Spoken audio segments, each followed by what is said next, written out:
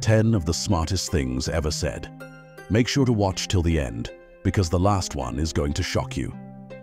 Everyone thinks of changing the world, but no one thinks of changing himself. We suffer more often in imagination than in reality. It is never too late to be what you might have been.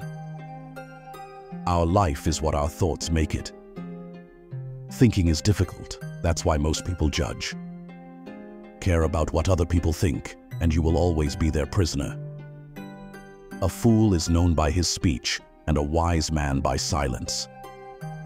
If you are the smartest person in the room, then you are in the wrong room. The quieter you become, the more you are able to hear. Drop a 100 if you made it this far. It shows that you're part of the 0.01% who actually finish what they start.